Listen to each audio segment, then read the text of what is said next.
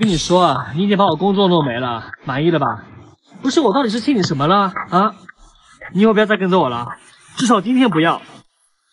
我有重要的约会呢，听到没有？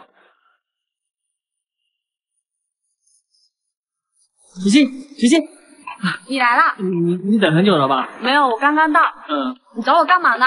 嗯，请你吃饭。啊这么好，不行。你想找我复合吧？也也不是不可以。你想吃什么？我请你，先吃饭吧。啊？他是谁啊？不是，你什么时候过来的呀？啊？我我，他他他他他是我弟弟，我弟弟，我弟弟很乖的。他明明就是女生啊。